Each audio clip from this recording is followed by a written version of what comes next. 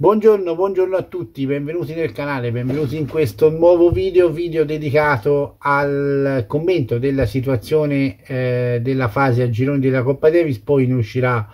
ovviamente un altro dedicato al fantatennis e, al e ai tornei della prossima settimana, ai tabelloni della prossima settimana, non appena usciranno vi farò il video per il fantatennis. Prima di parlare appunto della situazione dei quattro gruppi eh, terminata la seconda giornata, ovvero quattro partite delle sei in programma dei vari gironi, l'invito è come al solito a mettere like al video, a iscrivervi al canale, a lasciare eh, un mi piace appunto il like, a iscrivervi al canale ad attivare eh, la campanella per avere le notifiche in tempo reale. Iscrivetevi, iscrivetevi, iscrivetevi, cerchiamo di raggiungere eh, 700 iscritti, siamo a oltre 660, quindi forza. Eh, vediamo se eh, entro fine settembre riusciamo ad arrivare a 700, me lo fate questo favore. Forza, iscrivetevi, non vi costa nulla, grazie. Eh, allora, situazione nei quattro gironi, eh, partiamo dai definiti e due gruppi in cui eh, bisognerà prendere la calcolatrice, il gruppo A e il gruppo B, per sapere come andrà, come andrà a finire. All'inizio eh, di questa avventura, ovvero martedì scorso, eh, pensavamo che arrivare, che arrivare primi fosse un vantaggio perché avremmo evitato la Spagna e tutto. A questo punto però la cosa cambia, nel senso che eh, se oggi il Canada dovesse battere la Serbia e quindi garantirsi il primo posto del girone, non so quanto ci converrebbe vincere il raggruppamento per due motivi. Prima di tutto perché eh, vincendo il nostro raggruppamento finiremmo nella parte di tabellone dove in semifinale troveremo la Spagna. E poi se guardate gli orari eh, che sono stati fatti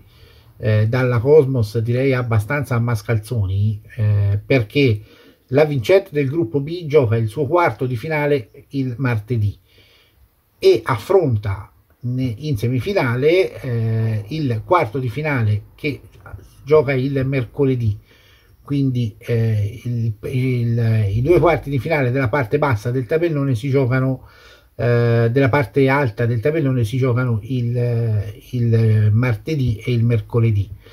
E qui ci dovrebbe ci doveva nelle loro intenzioni essere la Spagna che avrebbe avuto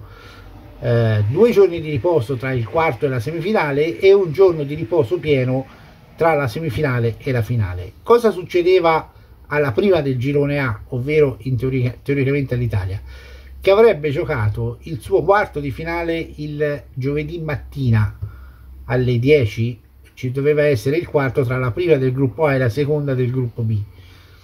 Alle 16 ci doveva essere l'altro quarto di finale e la e la semifinale si doveva giocare il sabato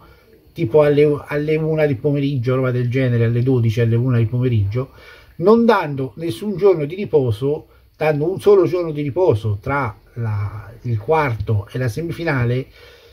e, eh, un, e nemmeno 24 ore di riposo tra la semifinale e la finale. Tutto questo chiaramente avvantaggia la parte del, della, del tabellone in cui doveva finire la Spagna, in cui a questo punto non si sa se finirà la Spagna.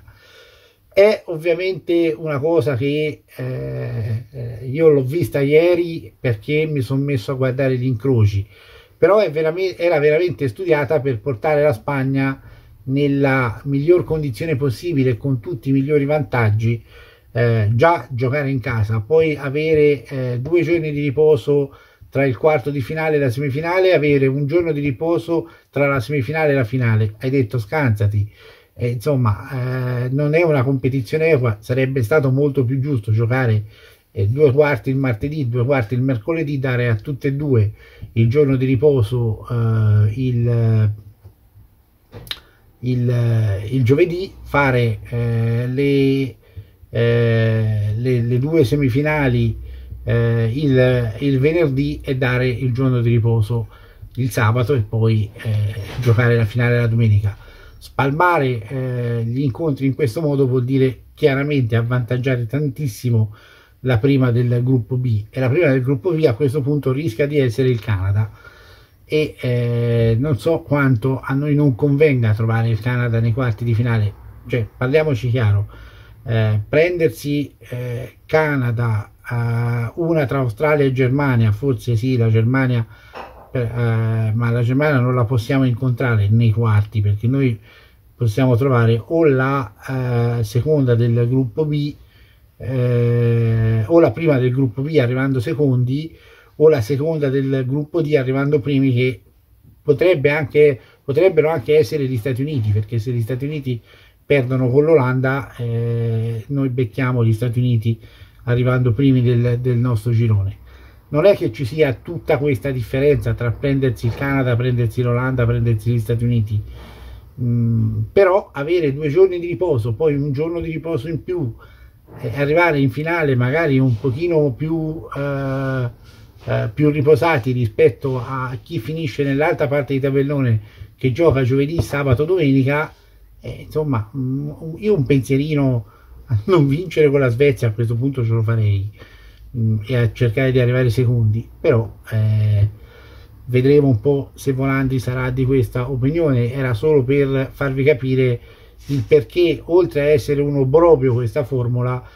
eh, il fatto di eh, giocare in questi eh, giorni diversi eh, alla fine va a avvantaggiare la squadra di casa che è già avvantaggiata dal, dal, fattore, dal fattore, pubblico, dal fattore,